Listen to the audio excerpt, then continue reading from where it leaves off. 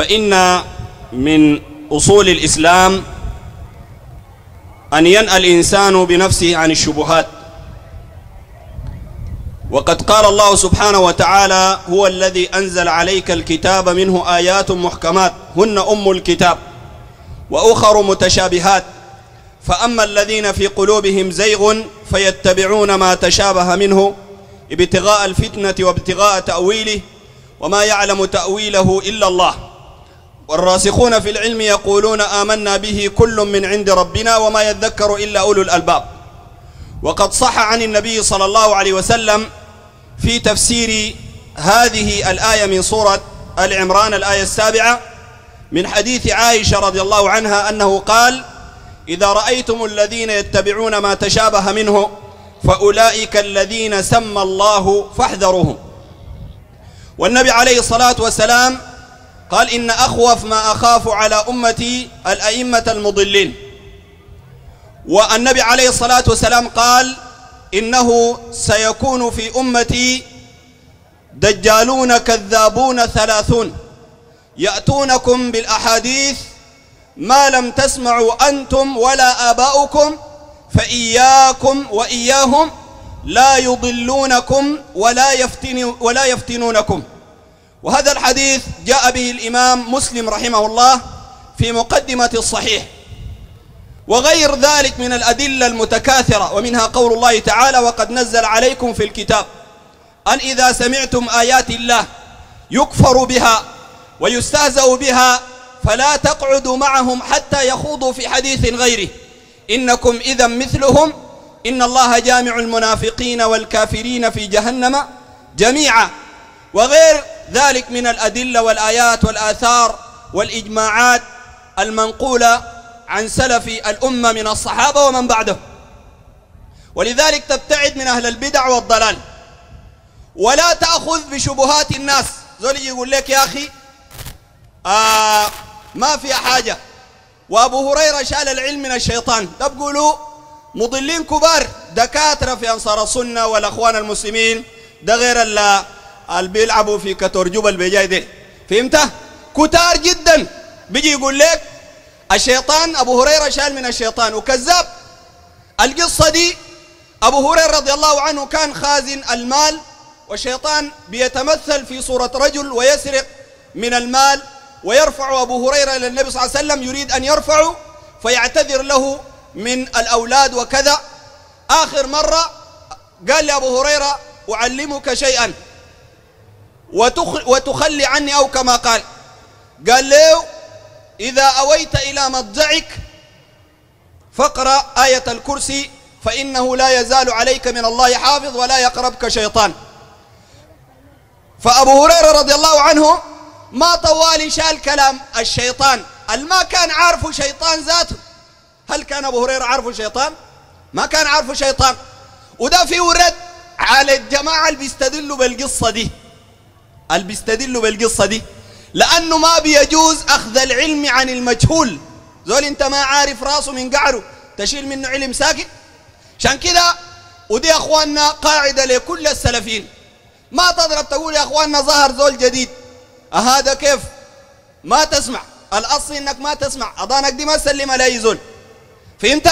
لغاية ما مشى عرض هذا الكلام على النبي صلى الله عليه وسلم فقال له النبي صلى الله عليه وسلم أما إنه صدقك وهو كذوب بعد ما الرسول صلى الله عليه وسلم قال الكلام ده يعني صدق في الحتة دي مع إنه كذاب حتى بعد ذاك أبو هريرة أخذ ال ال ال الذي أقره فيه النبي صلى الله عليه وسلم. ما شال الكلام كله.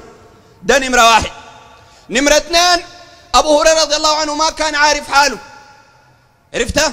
عشان كده النبي صلى الله عليه وسلم قال له أو كنت تدري أو كنت تدري من تكلم منذ ثلاث يا أبا هريرة؟ قال لا قال ذاك الشيطان أو قال شيطان. فدي شبهة بجيبوها لك باطلة. شبهة ثانية يجي يقول لك آه أنا عندي عقل بعرف الحق من الباطل والعقل براو ما كفاية في معرفة الحق من الباطل. والدليل أدلة كثيرة. منها قول النبي صلى الله عليه وسلم تركتكم على المحجة البيضاء ليلها كنهارها لا يزيغ عنها إلا هالك. وقال تركتكم تركت فيكم ما إن تمسكتم به لن تضلوا بعد أبدا. قال عقولكم؟ ما قال عقولكم؟ قال كتاب الله وسنتي. فيبقى العقل براوي يا أخواننا ما بيستقل في معرفة الحلال من الحرام. ده واحد. وفي شبهات كثيرة. أنا الكلام ده جبته لأن واحد من أخواننا جزاه الله خير جاب لي تسجيل لعمك البيكوريك بيجاي ده ولقى الناس ساكت وفاتحة غشمة وهو يكذب لهم وناجر وجاب له قواعد جديدة في اللغة العربية. زول خرب أي حاجة. يعني لو جاء سيبويه بدق مطرد في القواعد اللي بيجيبها جديدة دي. قواعد جديدة ها؟ ده دي دي قواعد ذاتها والله دي بتهدم الإنجليزي خليك من اللغة العربية. ما ممكن يا قواعدك دي ما تكذب على الناس. تزول جاهل ساقط طيب فبقى يجوز للناس الشرك. حميدة بيجاي. قام جاب له شبهات تقف معاه سريع. الشبهة الأولى جاب قصيدة البرع بتاعت بناديهم بناديهم. قال ما معناه دعاء غير الله بل هو توسل. الزول ده أخواننا ماله ده زول نصيح انت بتعرف سوداني؟ سوداني بتعرف يا حميدة؟ لغة عربية بتعرف؟ ها؟ بناديهم معناه شنو؟ النداء معناه شنو؟ ها؟ النداء معناه شنو يا حميدة؟ معناه توسل؟ النداء ده مباشر طوالي أما التوسل بتدخل لك واسطة. هو قال بناديهم تقول ده توسل؟ هو ذاته البرع ذاته. قال ده ما توسل يا ناس قال بناديهم. طيب نفترض معاك ده توسل الدعاء كيف؟ لو داير ادعو أعمل شنو؟ إذا كان ده توسل. يا قال لك بناديهم وربنا قال وأيوب إذ نادى ربه النداء لله. بسؤال أو برغبة أو برهبة ده الدعاء والعبادة. فهمت؟ فده قال لك بناديهم. يعني بنادي غير ربنا سبحانه وتعالى. وربنا قال وأن المساجد لله فلا تدعوا مع الله أحدا. وربنا قال ومن يدعو مع الله إلها آخر لا برهان له به. فإنما حسابه عند ربه إنه لا يفلح الكافرون. أما التوسل الدار يدخل لك حميدة وهو ما فاهمه العلماء قالوا ثلاثة أنواع. داير ربنا يشفي لك مريض. داير ربنا ينجحك في امتحان. داير ربنا يرزقك قروش زوجة أولاد غيره. تعمل شنو؟ تسأل الله سبحانه وتعالى. العلماء قالوا قبال ما تدعو الله وتنادي الله وتسأل الله وتستغيث بالله تقدم بين يدي هذا الدعاء ثلاثة أمور أو واحدة من ثلاث أمور. الأمر الأول أن تسأل الله بأسمائه الحسنى وصفاته العلى. يا رحيم ارحمني يا رزاق ارزقني إلى آخر. والنبي صلى الله عليه وسلم كان بيدعو بالأسماء الحسنى يا حي يا قيوم برحمتك أستغيث. أصلح لي شأني كله ولا تكلني إلى نفسي طرفة عين. ده النوع الأول. النوع الثاني بدعاء الرجل الصالح مش بالرجل الصالح. ما بتقول يا فلان بتقول لفلان أدعو لي معك الله. والدليل في صحيح مسلم أن النبي صلى الله عليه وسلم قال دعوة المسلم لأخيه بظهر الغيب شنو؟ مستجابة. وكل الله بها ملكا يقول آمين. ولك بمثلي يعني لما تقول يا الله أشفي مريض فلان الملك يقول شنو؟ ولك بمثل. ثلاثة تقدم قبال الدعاء عمل صالح تشيل جنيه تدي له مسكين. تقول يا الله بعمل الصالح ده ها؟ يا الله أشفي لي مريضي يا الله أرزقني وهكذا.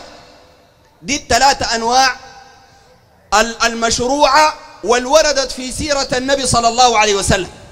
النبي صلى الله عليه وسلم الصحابة كانوا في سفر في جيش الموية قلت وكان في ركوة. ركوة بتعرفها؟ ركوة إن شاء الله يثبتوها لك بمسامير زنك في صلاتك دي. ركوة معناها كورة. موية في كورة. فهمت؟ فجابوها للنبي صلى الله عليه وسلم. النبي عليه الصلاة والسلام سمى الله ودعا فصار الماء يتفجر من بين أصابع النبي صلى الله عليه وسلم. دي معجزة. والنبي عليه الصلاة والسلام أبو هريرة جابوا له لبن كان معه أبو هريرة رضي الله عنه. والجيش أهل الصفة 80 نفر. أبو هريرة قبل النبي صلى الله عليه وسلم يقول لنا هذه أهل الصفة ادعوهم. قال لئن شبعت اليوم من شيء لأشبعن اليوم. فالنبي صلى الله عليه وسلم قال له نادي أهل الصفة 80 نفر. وما كان عندهم مأوى. كانوا يعملون أو, أو ما كان لهم أعمال ولكن كانوا يعبدون الله سبحانه وتعالى في المسجد ويخرجون في الجهاد. كانوا أهل الجهاد. أما ده ده أهل الطلاقيت من الناس اللي بيجاهدوا. المسلمين يا الواحد يشتغل وكده والزول برد ودرداقة وعرق وكده. بعد ما يمرق قروشه يجي حميدة يلقطها آخر النهار. ويزول فات حميدة وماسي مع الحد ربنا بيبتليه بالجماعة دي ودي طبعا سرقة باسم الدين. نهب مصلح ده. ما مسلح. مصلح. بينهب منك عينك يا تاجر. وانت ما بتحس إنه الزول ده شنو؟ ما بتحس إنه نهب منك حاجة. يقول لك يا سلام ده زول دين. ده ما فاهم حاجة. ده شال منك قروش من غير يا ريت لو من غير مقابل. وأفسد عقيدتك. فهمت؟ فالشاهد من الكلام النبي صلى الله عليه وسلم دعا في الإناء. وقال أي زول لما يجي يشرب يسمي الله فشربوا الثمانين بعد ذاك أبو هريرة النبي صلى الله عليه وسلم قال له بقيت أنا وأنت. فأبو هريرة قال نعم. قال له أشرب. قال فشربت. قال له أشرب. فشربت. أشرب. فشربت. قال له أشرب. قال والله ما أجد له مسلكا فشرب النبي صلى الله عليه وسلم فضل أبي هريرة. دي برضه معجزة. وده برضه في ورد على العلاق. يقول لك ما تقعد مع الشيخ في كرسي واحد وما تشرب من مويه الشيخ وما تتوضأ من إبريق الشيخ والنبي عليه الصلاة والسلام شرب فضلة أبي هريرة. يا أخي تقول لي صوفية وكلام فارغ وعفن. المهم ده موضوع ثاني ف فده دي أنواع التوسل. في نوعين واحد شريك واحد بدعة. البدعة تقول يا الله بيجاه فلان يعني بمكانته عندك. ده بدعة ما عمل السلف حرام. والدعاء يعتبر اعتداء في الدعاء. منهي عنه. وأما الشرك الشغل بتاع حميدة ده. تقول بناديهم بناديهم في كل قضية بناديهم حيين ميتين بناديهم ها ميت تناديهم. ربنا قال إن تدعوهم. لا يسمعوا دعاءكم ولو سمعوا ما استجابوا لكم ويوم القيامة يكفرون بشرككم ولا ينبئك مثل خبير. ما بينفعك ولا بيضرك يدعو لمن ضره أقرب من نفعه لبئس المولى ولبئس العشير. وهذا لم ناديهم يا حميدة. أدعوهم. فليستجيبوا لكم إن كنتم صادقين. أدعو خليه يفرتق الناس دين أدعو خليه ينفخنا. أدعو الزرقاب و وابضل عن حديد وبعصاة سيف وبقرجة شنو؟ أدعو خليه يعمل لنا حاجة. فأنت كذاب ساي. فالشبهة الأولى باطلة؟ طيب. نمرة اثنين. قال هل سمعتوا في واحد درويش قال البرعي الله. درويش قال؟ قال البرعي الله ما حصل. قال الوهابية بيتكلموا ساي. شوف انت عشان تبقى مشرك ما إلا تقول فلان ده الله. لو قلت فلان ده الله مش بتبقى مشرك. بتبقى انت وفرعون في سرج واحد. انت ما بتفهم إلا جناح الميدة ربنا قال فحشر فنادى. فقال شنو؟ أنا ربكم الأعلى. اللي بيقول أنا الله ده منو؟ ده فرعون. لكن برضه شيوخ الصوفية قالوها. هنا كتاب القادرية قالوها. قال أنا أنا الذاكر المذكور ذكرا لذاكر أنا الشاكر المشكور شكرا بنعمتي. أنا الواحد الفرد الكبير بذاته. أنا الواصف الموصوف شيخ الطريقة. قالوها. والبرع مدح الناس قالوها قال علم الحقيقة. آه وما أعرف ليك قال قال رقت ودقت على لون من الطاس. قال قال الحسين على معبودكم قدمي وضعته. قال أنا قدمي وضعته على ربنا سبحانه وتعالى. البرعي قام قال شنو؟ بدل ما يقول كافر وكده قال يا له من عارف كاسي. بدل ما يقول كافر شماسي قال يا له من عارف كاسي. أها. قال ومن قائل خط بحرا زاخرا وقفت بساحل منه بساحل منه رسل هم سادة الناس. وده أبو يزيد البسطامي الملحد المجرم. قال خضنا بحرا وقف الأنبياء بساحله. قال نحن الحص الحصلنا الأنبياء ذاتهم ما حصلوه ده إلا يكون بحر الكفر. الأنبياء ما بيجوا بجنبه ذاته منزهين عنه. لكن داري يوريك إنه حصل من العلوم ومن المكاشفات والمواجيد. ومن الأسرار الشيطانية ما لم يصل إليه الرسل والأنبياء. فهمت؟ وبتاع الختميه قال أنا الجليس على العرش المحيط كما أحط بالغيب تفصيلا واجمالا. فهم قالوا أنا الله. لكن لو أنت جيت قلت هو ما الله لكن بيعلم الغيب. وهو ما الله لكن تنده في الشدائد. وهو ما الله لكن بيخلق مع الله. وهو ما الله لكن بيهرش ملك الموت. وهو ما الله. وملائكة الله لما تعصي الله تمشي الله عن طريق السمانية. وهو ما الله. لكن جاء كتاب من الله سبحانه وتعالى مكتوب فيه بقلم القدرة غفرنا لك ولأهل قرابتك أجمعين. هما الله. لكن لو ذكرت في القبر ما بعذبوك. هما الله. لكن ملك الموت لما السؤال ملكين السؤال. لما قال له من ربك؟ قال الشيخ عبد الله بعلوي الملائكة قبلوا منه الإجابة دي. هما الله لكن بيعمل الحاجات دي. طيب يبقى الله بتين. بتين يا حميدة يا ما عندك دماغ وما عندك أي طايق. فهمت؟ فده كذب. فهو ما إلا يقول لك هو الله عديل. لكن صفات الله سبحانه وتعالى الدول الأولياء الضعاف الرميم الرمم الميتين المدفونين تحت الواطة. فهمت؟ فدي برضو شبهة باطلة. بعده قال أي حاجة ضاعت؟ قال بدل تقول يا الله مباشرا مباشرة عندك حاجتين كمان حميدة بقى يفصل كمان. والله يا أخواننا لغت هزلت حتى بدا من هزالها كلاها وحتى سامها كل مفلسي. وكما قال المثل الشعبي آه هانت الزلابية فاكلتها الجداد. يا حميدة انت تفصل شنو؟ هذا آه بقى الهواري بتاع الصوفية ولا شنو؟ بيفصل يقسمها إلى اثنين. ده حميدة حميدة تقسم شنو يا أخ؟ تقسم شنو يا أخ؟ الله يهديك. فهمت؟ قال إذا ضاعت لك حاجة بدل تقول يا الله مباشرة عندك حاجتين. تقول يا الله قال ده القسم الأول. الزول ده ما بليد يا أخوانا الزول ده مخه ده كيف؟ ها؟ ولا قبل ما يخش الحلقة دي عنده مشروبات روحية بيشربها ما أنا بتساءل يعني. أنا بتساءل لأنه الكلام ده ما ممكن يقوله زول عاقل.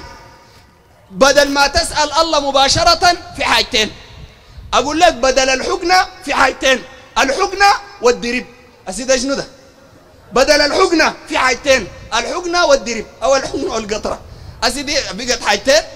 يا أخوانا زول ده بيصير شنو؟ طيب. قال الأولى تقول يا الله عديل. والثانية تقول تتوكل بأولياء الله. أنا ذاتي دي ما قادر ألاقيها كده أجيب لها شوال ويكا ولاقيها لها يا حميدة ها؟ قال تتوكل بأولياء الله. يعني ده توكل التوكل. شرك الشرك ده شرك تربيع. يا حميدة انت راسك ده ماله؟ ها؟ عشان كده دائما أي زول بيلعب بالدين بيضل. وبيضل ضلال بعيد زي ما ربنا سبحانه وتعالى قال. ذلك هو الضلال البعيد ضلال بعيد وضلال مبين. فهمت؟ يا أخي قال وقام قال شنو؟ قال والأحسن تتوكل بأولياء الله. قال ده الأحسن. ليه؟ قال لأنه الأولياء دي الناس قريبين من الله. لأنه قال هم بيقيموا الليل وانت بتكون نايم زي شوال الملح. شفت بتاع شوال الملح ده؟ أحسن من البرع بتاعك. شوال الملح بتاعك النايم الليل كله ده. فهمت؟ وعقيدته صحيحة. ده أحسن من المكاشي والكباشي والشفوت بتاع انك دين فهمت؟ لأنه ده نفس كلام المشركين. المشركين سبب شريكهم شنو؟ ربنا قال والذين اتخذوا من دونه أولياء ما نعبدهم إلا لشنو؟